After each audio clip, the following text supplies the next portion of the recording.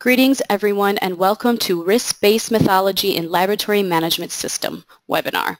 Happy to have you all here with us. I am Arta Limani, the PECB organizer of this webinar, and the guest for today is Dotun Blade, PECB certified trainer and analytical environment chemist at Furgo, Nigeria. Please feel free to write your questions and comments in the question box in the right-hand control panel, or you can use the raise hand function. We will unmute you, and you will have a chance to ask the question directly. Dotun will answer to all questions accordingly at the end of the presentation. Please, Dotun, you may start the presentation. Thank you. Good morning, everyone, or afternoon, or evening. Uh, and we have attendees from different parts of the world. So um, it's a very cool morning here in Nigeria, and um, welcome to this webinar. Okay, today we, we're talking about risk-based methodology in laboratory management system and um, it's integrating ISO 17025 and ISO 31000. Um, I, I didn't want to assume that we are all experts at ISO management system, so I'll just briefly um, say something about both um, management systems. The ISO 17025 is um, laboratory management system and ISO 9000, um, ISO 31000 is risk management system, um, this um, 2009 edition. So the point of this webinar is how do we incorporate risk management into the laboratory management process? Um, how, at what point do we analyze risk? How do we analyze risk? How do we treat risk? How do we identify risk? Everything that has to do with risk management and how what it has to do with laboratory management. All right. Um, Arta in, introduced me already, so I'm sure from my slide, from this slide, you can see that um, I have um, experience in ISO management systems, and I'm also a, a laboratory expert. Um, I'm a PECB certified um, lead assessor for 17025 and um, a lead implementer for environmental management systems and quality management systems and I'm also a, a certified trainer. Right. So objectives. Uh, the objective of this webinar is to review key aspects of risk management, uh, to recognize common errors in the laboratory, to, to develop a quality control plan, and to introduce laboratory risk assessment methodology. And um, the content in the press of this presentation, what you typically see is the, the overview of LMS, which is laboratory management systems. Uh, I will introduce risk and risk management. And then uh, a very key aspect of this presentation is understanding laboratory errors and quality control. Um, everything about the laboratory has to do with quality because quality is at the heart of the laboratory work. So we're going to look at quality control plan and other control processes, um, the risk management framework based on ISO 31000, uh, which has to do with identification, analysis, evaluation, and treatment, and also um, implementing risk management which is based on based on the Deming cycle. All right, so why do accidents happen? Um, the first one there is carelessness. It's there, that's there intentionally, and um, I've been working in the laboratory for quite a while, and I've, I've noticed that whenever there's an error, whenever there's an accident, um, somebody is almost always singled out to take the fall. You know, there is sometimes also I've noticed that you really cannot find who to put the blame on. Sometimes the equipment just malfunctions, you know. So there is carelessness at the forefront, but it's not always carelessness. There are other issues. Inadequate safety training, you know, inadequate instructions, maybe the work instruction is outmoded, it's not been changed, it's not been updated, uh, you know, on unsafe equipment, overcrowding, um, when you have a very small lab doing uh, everything and everybody is handling every equipment, you know, nobody is responsible for what. And these are issues, these, these are very important issues that management systems address. And you have poor laboratory management and other factors. So accidents happen for different reasons, which we cannot exhaust right now. There are so many reasons why we have accidents.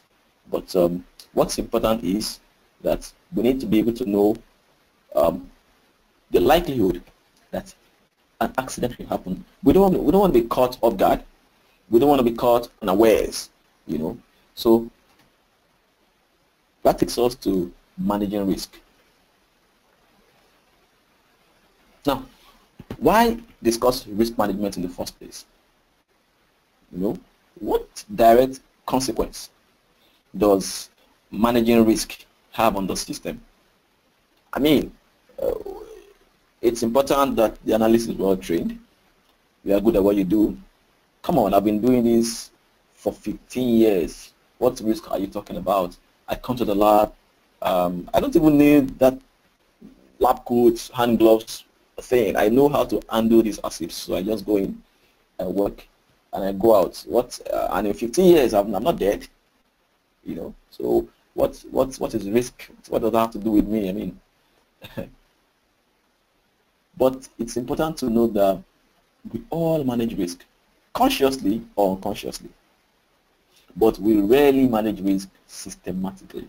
And that's the point of this presentation. Risk management has to be a system. It must be systematic. It means, you know, forward thinking, the ability to anticipate. It means being analytical, being calculative. It's, it's responsible thinking. It's balanced thinking. You know, managing risk is all about maximizing opportunity and minimizing threats. There will be threats. There are always threats. Um, threats are bad around us. Um, even driving a car has its own you know, threats. So, but we must be able to minimize the threats and maximize opportunity. And that is what managing risk is about.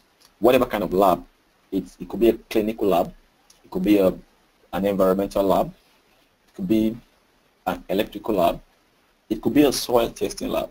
But the important thing is that there are risks in every work process. There are risks involved in every laboratory and minimizing the threats and maximizing opportunity is key to risk management.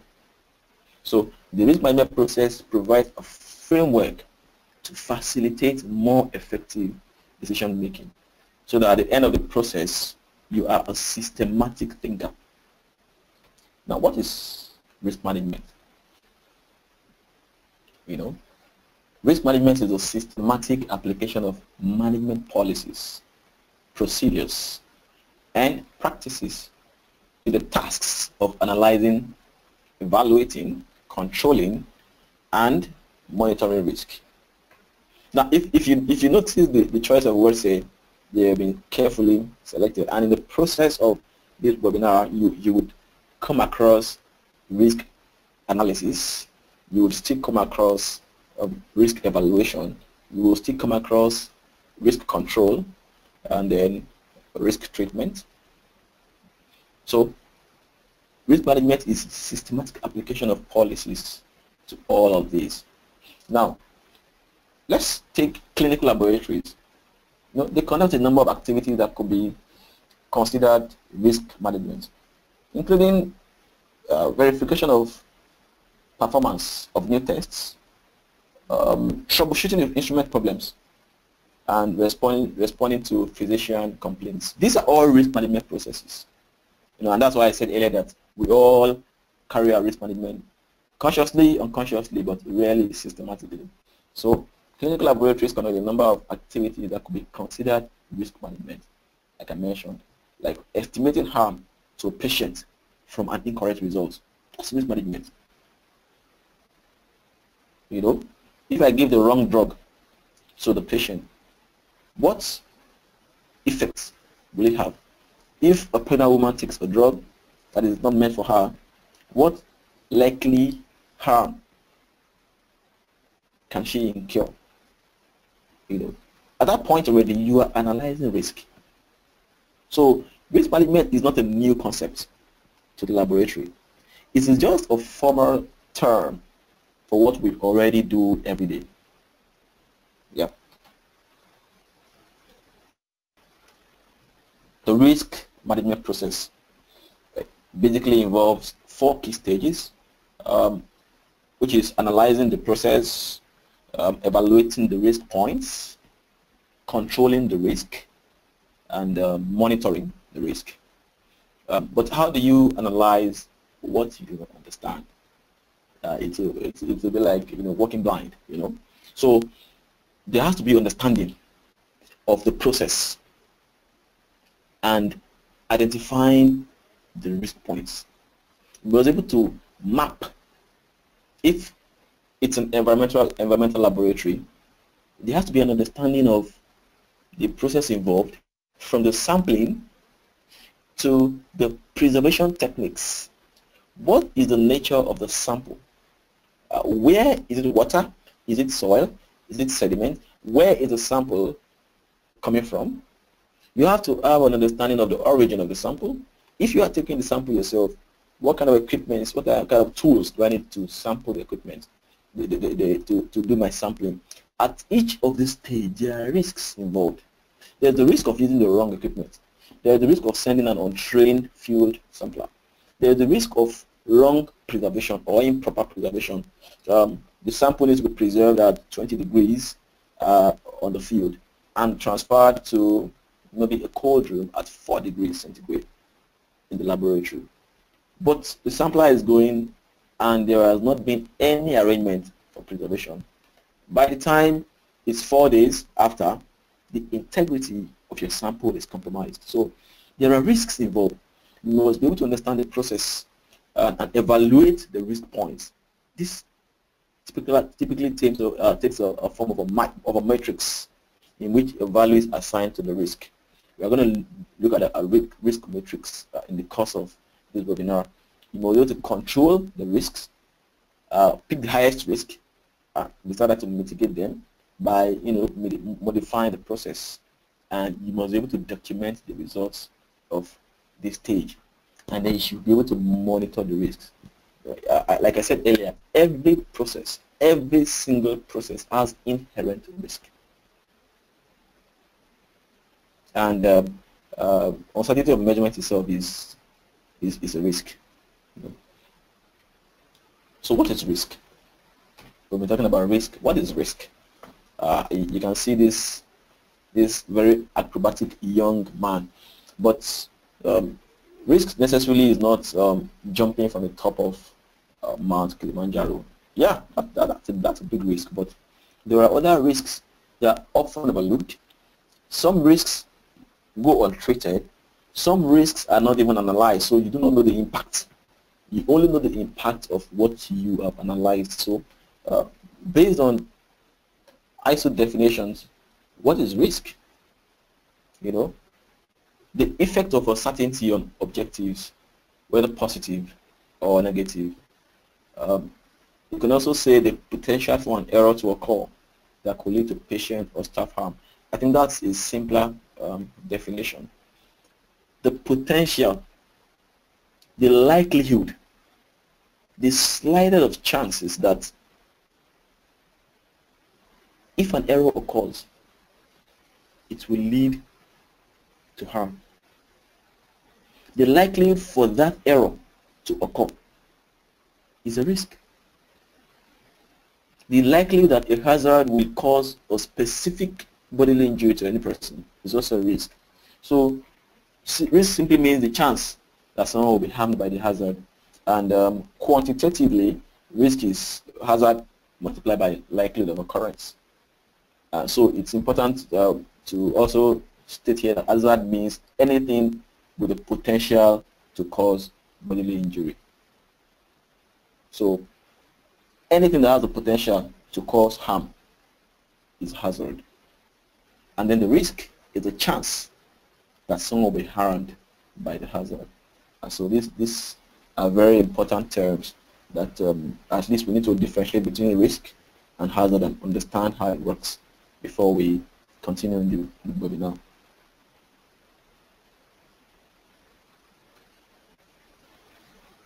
Okay, now this is the ISO 31000 framework.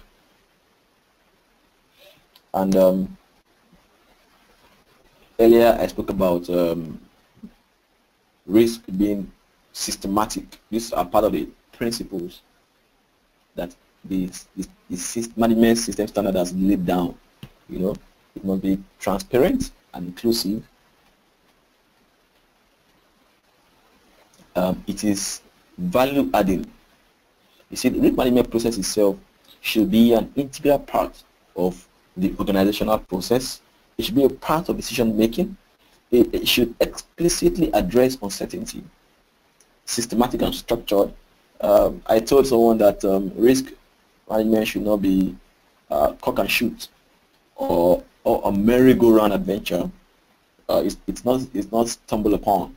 Risk has to be systematic. There's no room for um, some sort of serendipity. No, it has to be well planned out because at some point you are dealing with lives. At some point, a risk that goes untreated could claim a life. So there's no there's no room there's, not, there's no leeway for um, leaving things to chance. So, but in the in the next few slides we'll look at the framework and most importantly the process. This itself is not a, a very long lecture on risk. It's how to incorporate risk management into the laboratory management system. And so the, the emphasis is on the process involved. Right. So simply put, every organization should imbibe a risk management culture. Whether it's, whether it's in laboratory management, uh, health and safety, whether it's quality management, whether it's um, environmental management, whether it's energy management, whether it's uh, supply chain process, whether it's information system, whether it's in internet security, the risk management must be imbibed as a culture and incorporated into the management system. And the process I told you earlier, or we saw in the previous slides, basically involves identification, analysis, evaluation, and treatment. Um, uh, which, which we could easily split into two. We could just say risk assessment and risk treatment. Now, risk assessment now combines identification, um, the analysis, the evaluation. And then after you identified your risk, you've analyzed your risk, you've evaluated your risk, uh, you, you've, you've built your risk matrix, you looked at the highest risk, the lowest risk, you've categorized those risks, then you can now go on to treat those risks. So that whole process of identification, analysis, and evaluation is summed up as risk assessments before the treatment. And in this, in the life cycle of risk management, there has to be um, consistent communication, there has to be consultation, there has to be monitoring, and there has to be review all through the life cycle of risk management. Okay, so now this is the process uh, which I explained earlier, um, broken down. Now, first of all, there has to be an establishment of the context. If you're familiar with um, um, environmental management system, for instance, or other management systems, uh, you'll find out that one very core um, clause in ISO management systems has to do with understanding the context of the organization. And this also applies to risk management. Like I told you earlier, uh, the inherent risks involved in an environmental laboratory, um, there will be some differences with risk management involved in a clinical laboratory. And there will also be some differences in risk involved in in a, in a radioactive laboratory, for instance, or in an electrical laboratory. So there has to be an understanding of the external and the internal context. Uh, the external context now has to do with um, interested parties and internal context has to do with the, the working procedures, the policies, the, the instruments involved in the laboratory work. So there must be an understanding of external context, there must be an understanding of internal context uh, before you can identify the risks inherent in the process. And so there must be, you must be able to develop the risk criteria. Now, risk identification, what can happen? Where? What, what, where in the process? Where? What part of the laboratory? Um, at what point? When? How? And why? These are very common questions.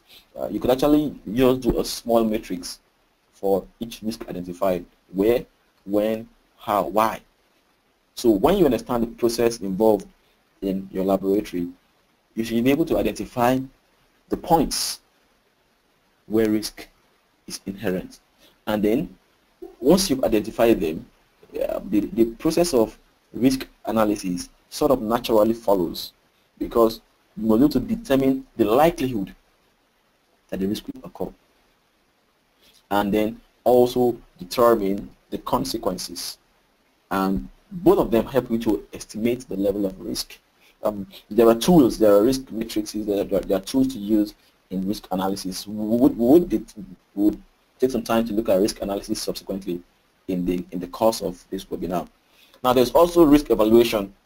You know, you must be able to identify and access options, you know, and compare against criteria in order to decide on the kind of response and then establish priorities. Able To, and then before you now go to the treatment, you, you need to select the risk treatment options and then preparing and, and implementing risk treatment plans. And like I said earlier, in the life cycle of risk management, you continue to communicate, you continue to consult, you continue to monitor, you continue to review. These are all very, very important. But in the, in the course of the webinar, we are going to look at how to identify risk. We're going to look at examples. Um, this is just sort of a synopsis to help give you clear understanding. And um, this, these are some very amazing managers. We've considered every potential risk except the risk of um, avoiding all risks. Now, we are going to go straight and look at laboratory errors. Now there's Murphy's Law, which I'm sure most people are familiar with. And um, basically Murphy's Law just states that if anything can possibly go wrong, it will. And the, one of the first slides earlier, uh, we, we listed carelessness as one of the reasons why there were errors. And I, I intentionally did that and pointed out that um, it's not always because people are careless, but errors occur because they can. They just occur. So what are the sources of laboratory errors? What are the types of errors? You need to be able to understand um, what the types of errors are so that you can know how to build these points into your process and look at errors in your own system. There are environmental errors, there are operator errors, there are specimen errors, there are analysis errors, and there are also measuring system errors. Now, let me let me let me give you an example of an environmental error. If you use an analytical balance, um, which is calibrated to about four decimal places, and um, this is from personal experience, and you place your analytical balance close to the window, or sometimes you find people placing those very sensitive balances under the air conditioner, the AC and you have to weigh a very light sample, very 0 or 0 0.020 grams. But your equipment is calibrated to 0 0.0000. Now, the wind drift can affect the measurement of your sample. So the Analyst is right there weighing 50 different samples of 0.1 grams, 0.15 grams, 0.2 grams, very small amount of sample. But it's right there under the air conditioner. And then the wind, the, the air conditioner is, is giving him false results. You know, the results keep shooting out, shooting up, shooting up. um, the balance is not, is not stabilizing at any point, and it just keeps weighing. And it is introducing error right from the very first stage of the analysis. So environmental errors occur, and operator errors also occur. And um, there are also measurement system errors. There are analysis errors. Um, the calibration is out, is outdated. The calibration is failing, but the analysis running is analysis. At that point, nothing you do is accurate. Uh, nothing you do is, is correct. But um, it's giggle. I mean, you garbage in, you garbage out. You always get data from your equipment, but it's not accurate. So these are all sorts of errors. You have blood clot, you have clots, you have bubbles, so many things, even in the process of measurement. Now, what are the types of errors in the laboratory? Uh, I'll quickly look at um, that. You have systematic errors and you have random errors. Um, this is not a lecture on errors precisely, so we might not able to look at all the types of errors and all the scenarios of errors. But um, the errors that affect every test in a constant and predictable manner is a systematic error. And an example of that is um, calibration errors. The wrong set point. You've done your calibration, and um, but your calibration hasn't been quality checked. So there is an inherent error in your process. So for every sample you analyze, there is a systematic, there is a constant, there is a predictable error that comes upon, most sometimes by a factor. That's a systematic error. And then there are also random errors, errors that um, are not systematic, they just happen, you know, that affect individual samples in a random and unpredictable fashion. So these are the types of error. Now, what is risk assessment? Risk assessment is a systematic approach to identifying hazards, evaluating risk, and incorporating appropriate measures to manage and mitigate risk for any work process or activity. Um, earlier, I, I, said, I stated that risk my assessment combines both identification and evaluation of risk. So uh, risk assessment starts with identifying a potential risk or error, popularly called hazard identification. Now, once that is done, the probability and um, severity of harm is estimated.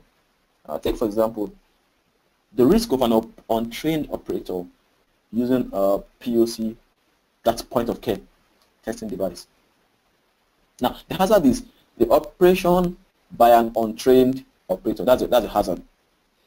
Now, the probability of harm, you know, is estimated, you know, it could be frequent, uh, weekly, monthly, yearly, you know, and then severity of harm of the device if the device is run by an untrained operator, you know, could be unknown, could be serious, it could be permanent, it could be impairment, you know. So the risk can be estimated by combining the probability of harm with severity in simple matrix. Now, in this example I just gave, uh, because it's it's when when I illustrate example, it'll be easier to move faster because of time. Now, in the example I just gave you, risk can be estimated by combining probability of harm with severity of harm in this simple matrix. And you could have a central laboratory where the, the, the test is performed by medical technologists, for instance, who are well supervised and are all experienced, all well trained. In this case, the probability of this hazard becomes remote. So now, consider an instrument that has an operator lockout features. That's engineering control that introduced. And you know, and um, before you use that equipment, you have to log in. Um, it has to accept your identity as being properly trained to use it. At that point, um, the hazard for that risk uh, becomes non-existent. Know? So risk assessment is the whole process, and uh, there's a question: How often must must risk assessment be reviewed? Well, uh, at least once every three years.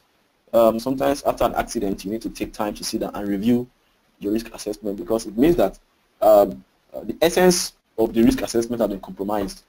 You know, he's not allowed to say it's just one accident, it's just one death. I mean, this this year we just we lost just one, one staff. No, that's acceptable. So there are points when you might have to do a review of the risk management process. Now, risk assessment process. What does it involve? Uh, it involves defining the situation, you define the risk, you characterize your risk, uh, you determine if the risk is acceptable, and then you implement mitigation measures if it's not.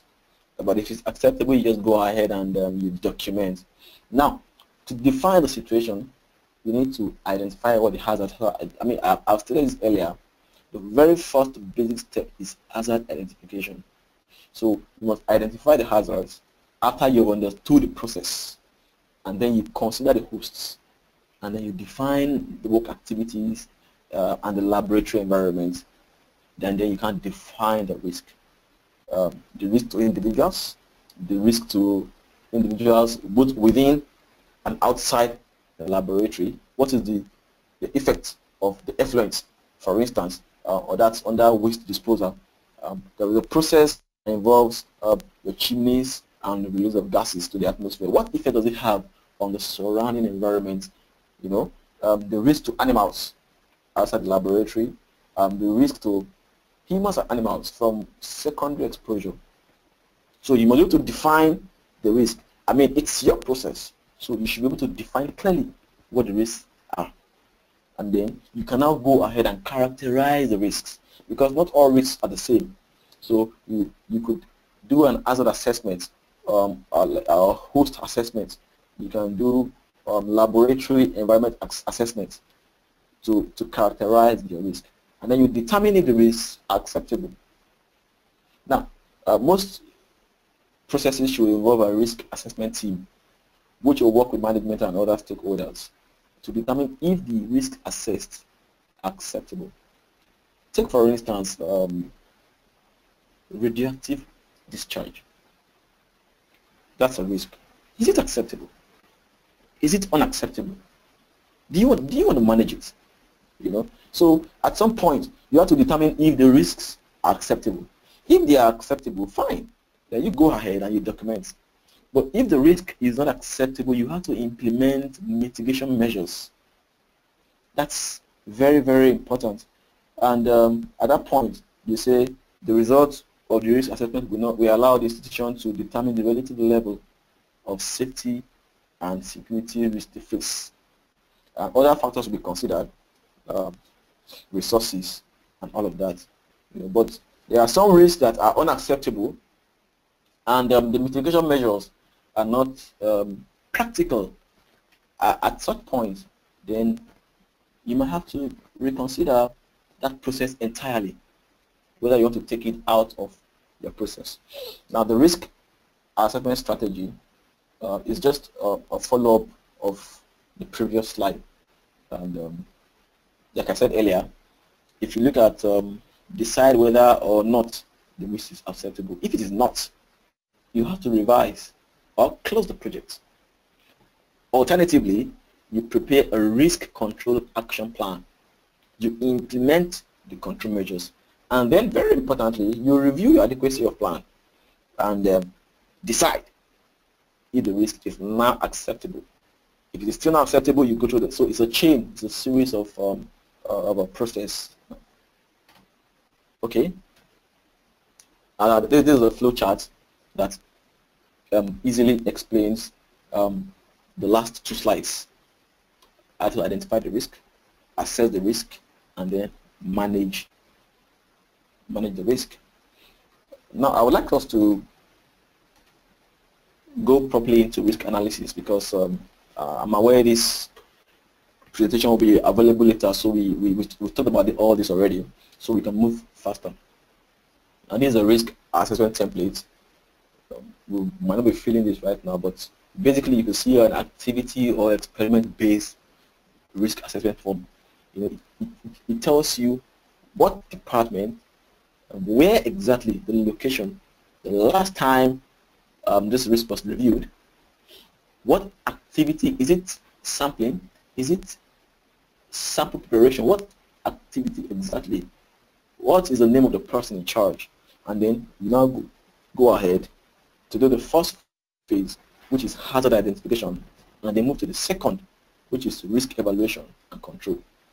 Everything will be clearly written down and then documented and also um, uh, deployed in, in the case of subsequent risk assessments.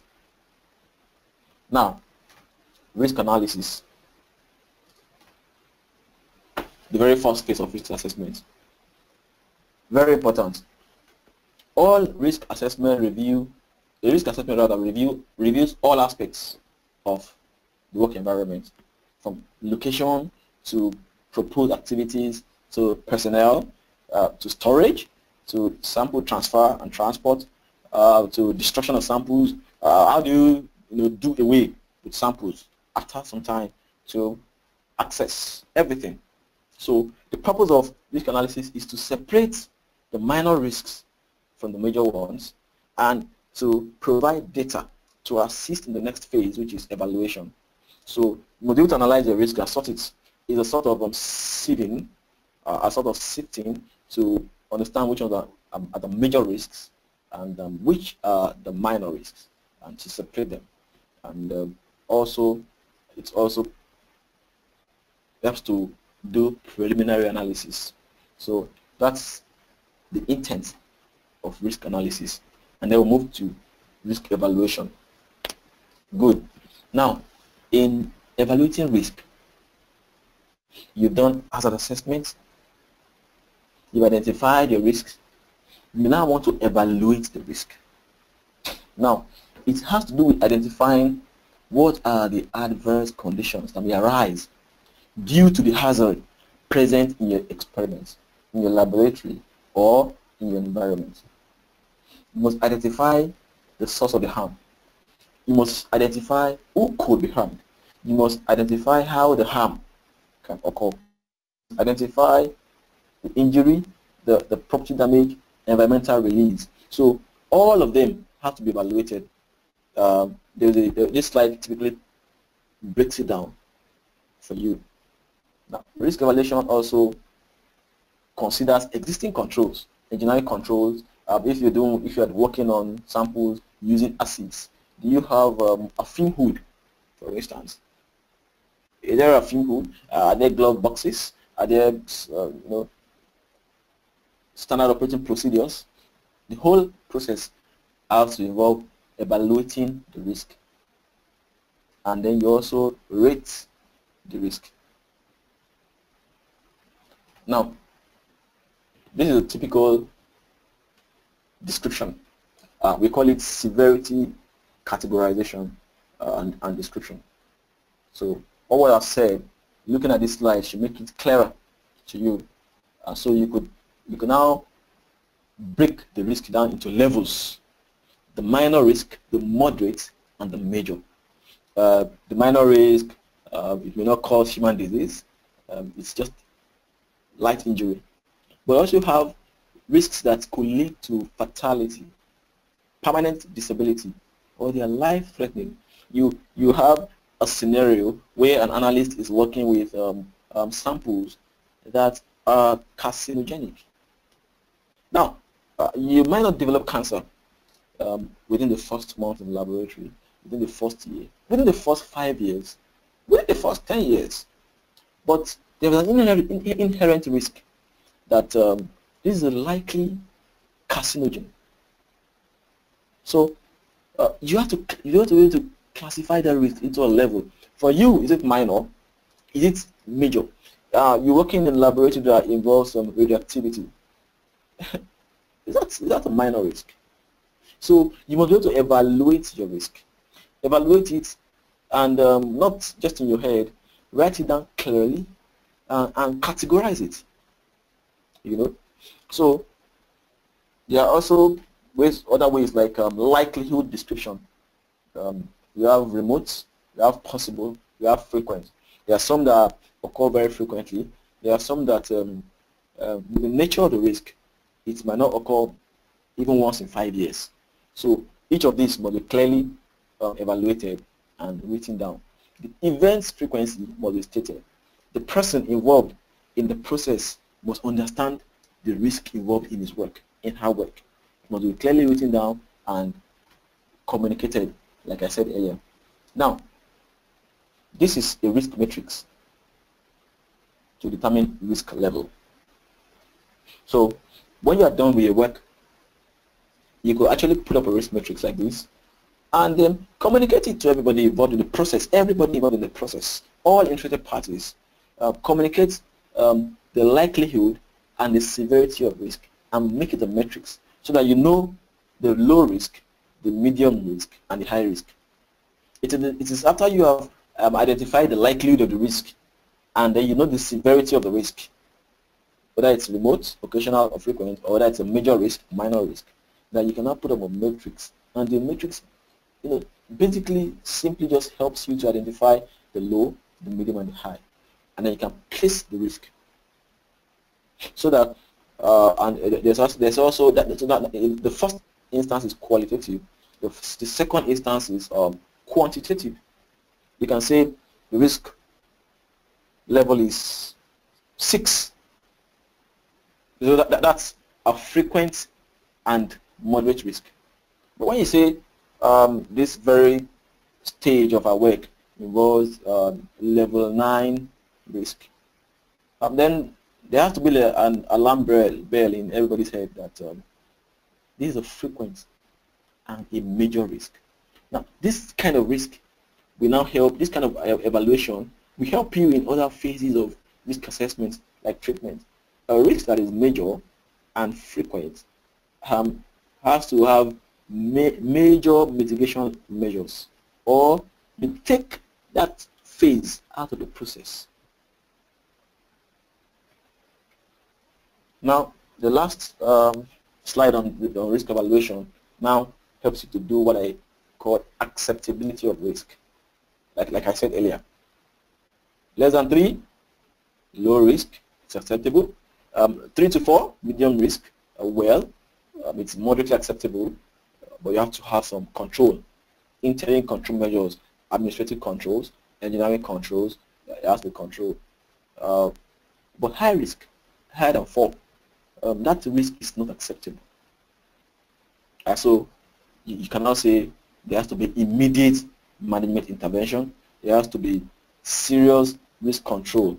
You know, control measures should focus on, like I said earlier, elimination completely, or looking for a way to substitute, and then some some advanced engineering controls. So that's this is a this, this is your picture of risk evaluation. We, we, we do not have the time to take examples and do risk acceptance, risk level one by one, but this gives a clear picture of the end product of risk evaluation and then risk control. So the whole process I've explained earlier, those three processes, um, sum up your risk assessment. Now, you have assessed your risk. You know, you've drawn up your matrix. You have come to a point where you are discussing acceptability of risk. This risk is acceptable. No, we cannot take this risk. Uh, please, can we look for a way to substitute? Can we look for a way to eliminate? You know, so that now takes you to risk control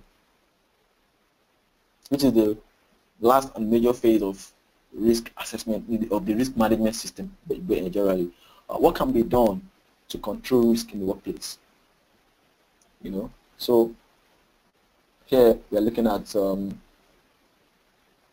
elimination, we are looking at substitution, we are looking at engineering controls, we are looking at administrative controls. Um, um, earlier I was speaking with, with, with Arta and before the presentation began on the what it involves to work in a laboratory.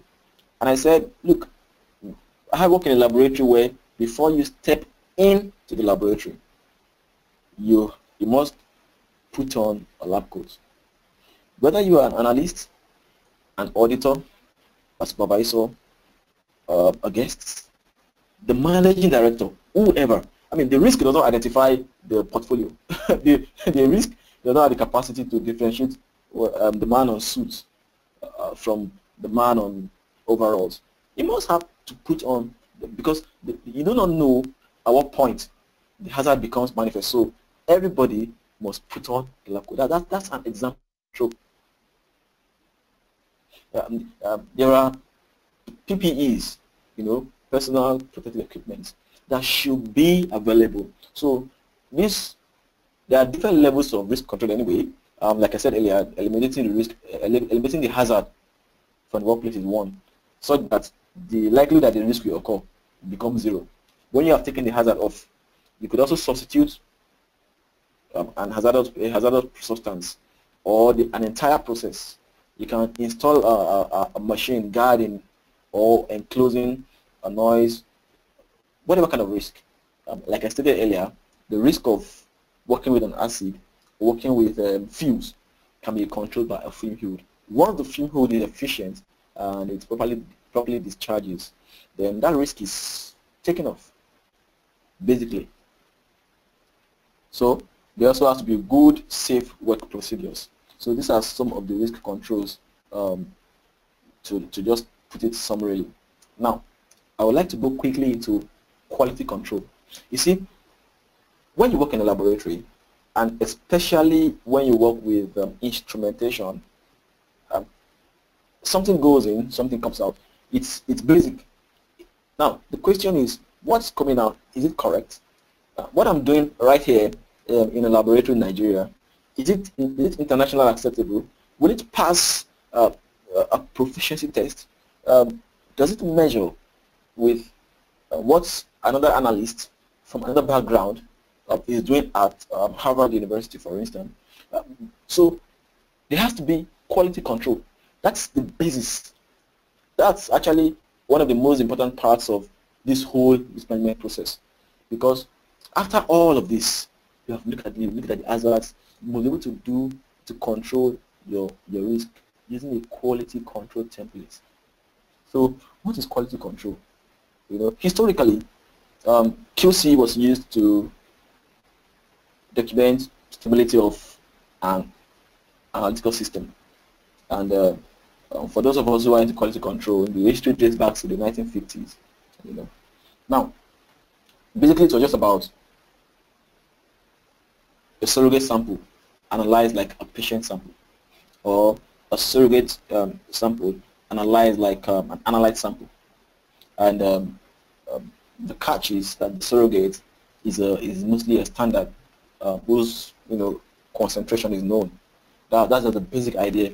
So that um, when um, I have an equipment and I'm saying that I'm introducing, um, uh, let's say 10 parts per million into my equipment, based on a certain calibration and my my my result gives me 9.8 ppm uh, which is about um, you know 19% recovery then um, that's good enough if my recovery expectation is say 80 to 120 but when I have an equipment and um, I'm putting in and what I'm getting is 50% um, um, it's going to be the same with the sample so the QC has target values and uh, it monitors the end product of the entire system. So you introduce quality control as a risk management strategy because there's the risk of giving out the wrong results if there's no control. Now, there are, there are different types of quality control. I'm not going to spend time on these uh, because um, for laboratory experts, these are quite basic things there are internal QCs, there are external QCs, there are onboard, um, those some are built into the device. Um, so like the one I explained earlier, um, we have um, it's an internal QC. You have a surrogate samples analyzed. You, know, you also have proficiency surveys, which we call blind testing, which I personally partake in, in, in my analysis.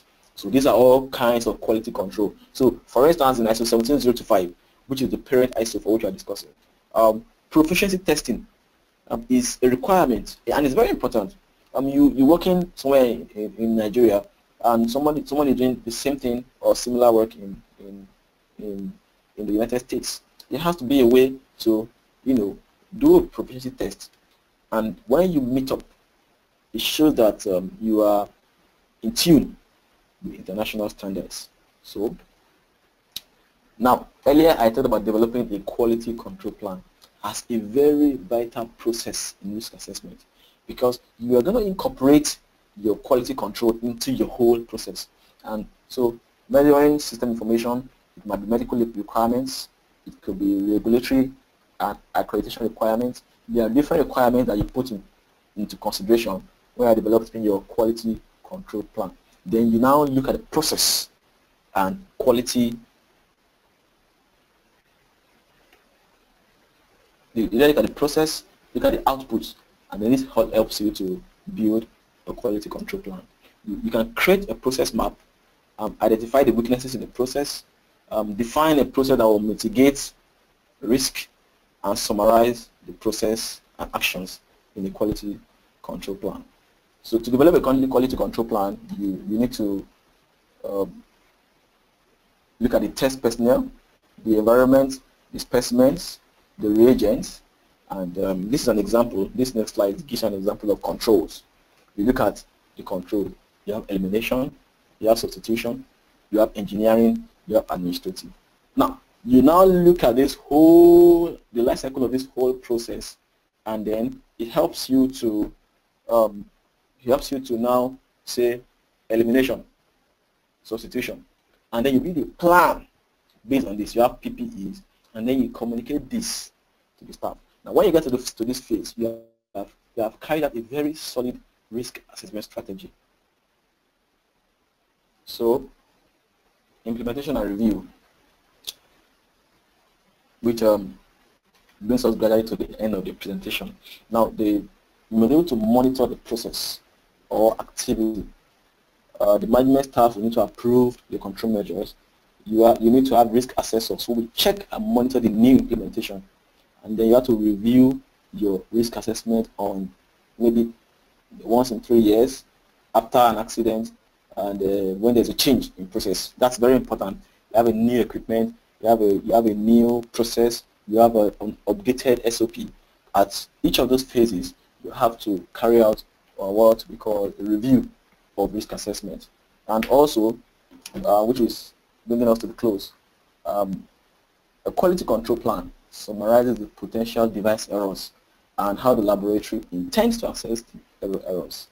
Uh, a QCP uh, can be a high level or very detailed depending on the device. It can be just a short document. It can be very, very detailed.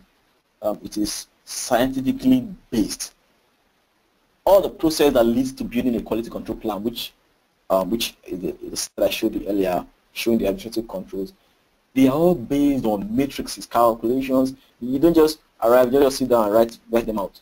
You have started with your hazard identification, identify the risk, evaluated the risk, planned your controls to the end. And once implemented, the quality control plan is monitored for effectiveness and monitored as needed to maintain risk at a at an acceptable level, not just clinically now, at an acceptable level. So um, this brings us to the end of this um, presentation. Uh, I would um, look forward to an opportunity where we can take examples of risk management and probably one or two actually, you know, you know, do a risk assessment, uh, do build the metrics, you know, and then ask, you know, get questions and answers and all of that. But for now, this is an overview. It gives a basic risk management strategy for different kinds of laboratories. Um, thank you very much. I'm sure Arta is, um, by the way, um, I exceeded my time already, but um, it's my pleasure. Thank you. Thank you, Dotun, for this great presentation. Because of the time limited, we have to conclude this presentation. However, if you have any other questions, you can send your questions through email and we will answer to them individually. I want to thank all the attendees as well for taking the time out of your busy schedules to join us today. We hope you enjoyed the webinar. Thank you again, Dotun, for this very informative presentation. To keep Thank up you. with our webinars, please check PECB's webinar schedule on our website, pecb.com, or our official social media network. Since next week, we are organizing webinars on interesting topics. Next Tuesday, we are hosting a webinar on the topic Risk-Based Thinking, a new approach to the management, management system effective quality. However, it is in French. Thank you, everyone, and enjoy the rest of your day.